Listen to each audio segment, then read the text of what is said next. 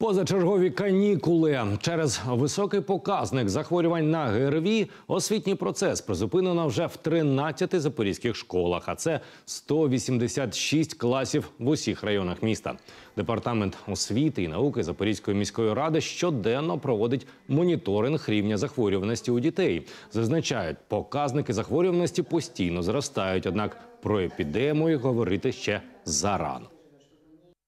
На сьогодні 21,3% дітей від загального контингенту дітей закладів загальної середньої освіти е, захворіли.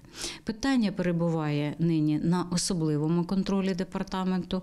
В кожному закладі освіти здійснюються відповідні заходи, які е, направлені на посилення дотримання санітарно-гігієнічних вимог до утримання навчальних закладів.